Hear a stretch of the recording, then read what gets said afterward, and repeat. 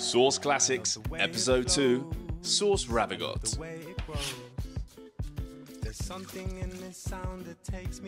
Once your grecque simmered for about five minutes, we're going to add our artichokes.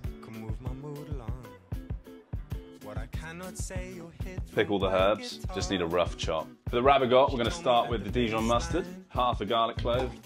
Slowly add the oil like you're making a mayonnaise.